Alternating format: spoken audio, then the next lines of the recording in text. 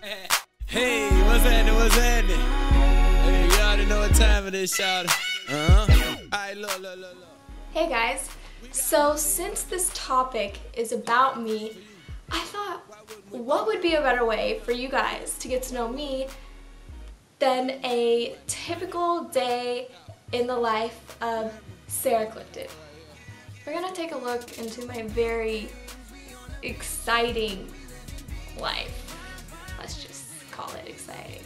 So at 7.15 every morning, my alarm goes off and it's so loud and just wakes me up. Roll over to the side of the bed, look at the clock for a second, kind of am really mad, turn it off, sit up in bed, and think, oh, man, I really wish I could sleep. Once I do that, I get up and go straight into the bathroom. When I go in and I look like a ratchet mess and then come out and look kind of decent. So once I'm in the bathroom, I typically start with putting my contacts in. And that usually looks a little bit like this early in the morning.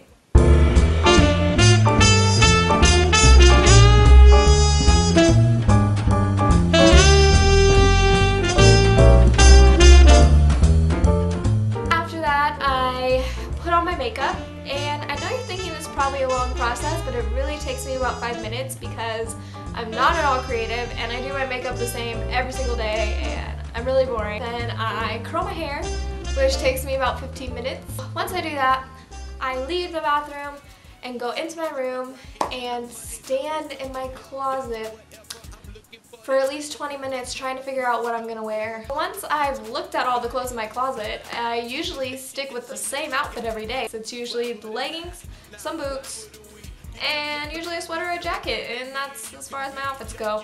So then I get everything together and I'm on my way to school. So once I get home from school, first thing I do is eat because your girl is hungry. I usually catch up on some reality TV like X Factor, The Bachelor, the Kardashians. Once I do that for a while, I go into what I like to call the dungeon, aka my room, and I begin my homework. The way I usually begin my homework is I take out all my books, all the stuff I need to do my homework, and I just look at it for a while. I think I'm mentally preparing myself to get through my homework. Like I'm like, oh, yeah, you can do this, you can do this. So I can usually go with my homework for about two hours straight um, without any distractions. So it's about dinner time, roll up in the kitchen, fix myself a meal. Sometimes it's with my roommates. Then after that, I gotta call the mom because if I don't call the mom, she will be worried and she will probably think I'm dead. And that conversation usually goes a little something like this. Hey mom, yeah, I did that. Yeah, I told you I did that last week. Mom, I know, I know, I know.